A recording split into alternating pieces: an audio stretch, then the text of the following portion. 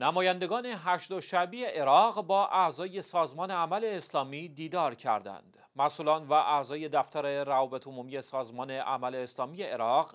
وابسته به دفتر مرجعیت شیعه آیت الله العظما شیرازی مدزلو در شهر مقدس کربلا میزبان نمایندگان گردان امام علی علیه السلام از گردانهای نیروهای مردمی مدافعت و مقدسات عراق بودند. سید شهاب موسوی مدیر دفتر رابط عمومی و سرهنگ محمد عاملی مسئول بخش نظامی سازمان عمل اسلامی ضمن دیدار با هیئت نمایندگی گردان امام علی علیه السلام درباره آخرین تحولات نظامی و پیروزی های نیروهای رزمنده مردمی در های نبرد علیه سنی های تندروی داعش به بحث و تبادل نظر پرداختند. لازم به یادآوری سازمان عمل اسلامی عراق یکی از سازمان های وابسته به مرجعیت شیعه است که علاوه بر نبرد با سنی های تندروی داعش خدمات امنیتی و اجتماعی ارزنده به عموم مردم در بسیاری از مناطق عراق ارائه کرده است.